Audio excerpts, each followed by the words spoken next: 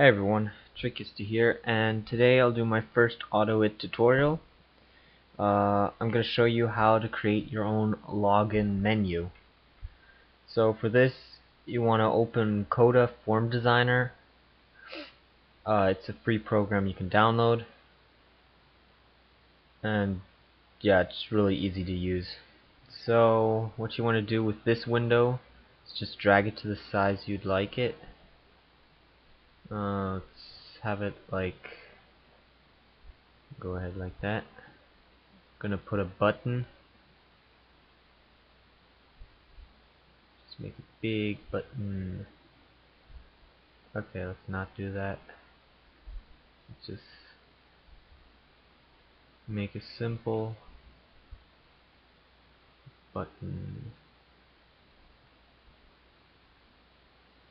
So that if you go here to this run preview, you'll see this is how it's gonna look like. Yeah, that's good enough. Okay, so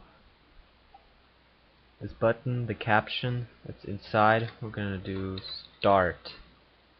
The name will be run. Later in the script, uh, it's very important to label everything or else you get confused. So as a font,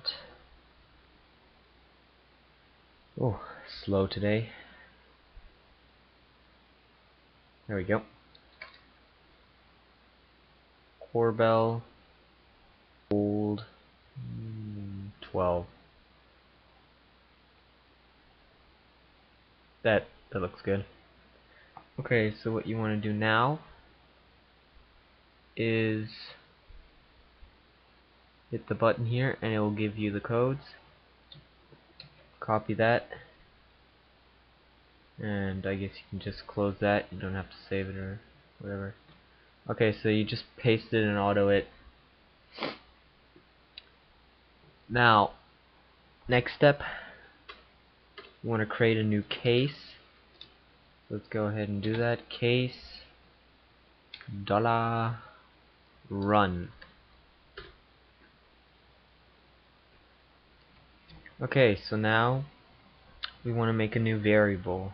For this uh, we just put dollar dollar um, let's just call it PV equals input box then in brackets and it'll it'll show you everything you need to type in. So first of all the title um password. Okay. Prompt will be type type type in type in password, whatever. Okay, next. Do that and do that. Now, when you type it in, do you want the password to be shown while the typing it or be shown in uh, characters like like that? That's what I mostly use. Oh, whoops. Okay, here's something. There we go. Next, the size. Um, 230. 120. Yeah. Close the brackets.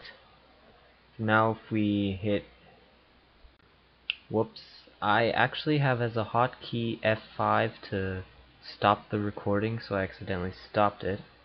But F5 here also means go.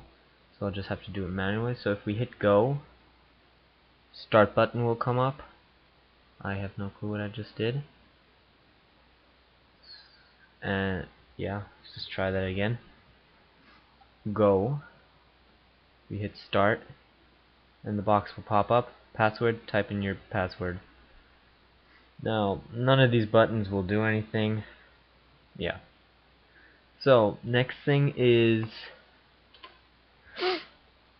Uh, let's see. If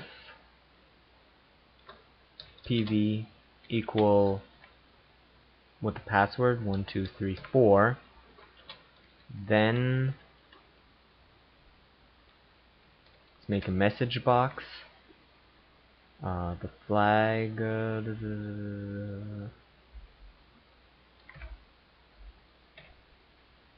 title. Correct. Maybe. Text. Uh, this is the correct PV yeah. And that's it put a sleep and save now if we go ahead and run it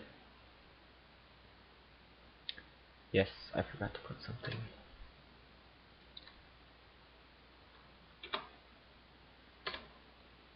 End it. And again, I accidentally hit F5. Sorry. Okay, so I had to put the end if. Now if we go to go, hit start, type in the password. One, two, three, four. Show up in these dotty thingy, whatever you call them. If you hit OK, pa uh, correct password, this is the correct password. Okay, done. But, what if someone types in the wrong password? The program will just close. Now, to make it look better, or I don't know, it will just stop working and done. So what you want to do is put a else statement. Else um, message box 16 title wrong PV um,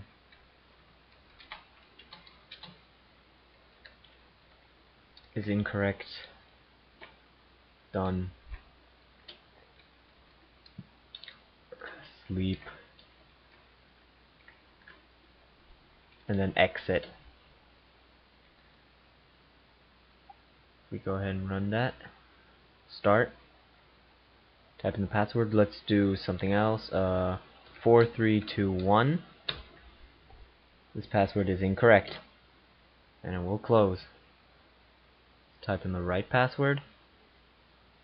1234 this password is correct. Or this is the correct password. You hit OK. And then you can just put the rest of your code there. So yeah, simple. Hope you liked it. Comment, rate, subscribe. Check out my Facebook page. And more AutoIt tutorials will come out soon.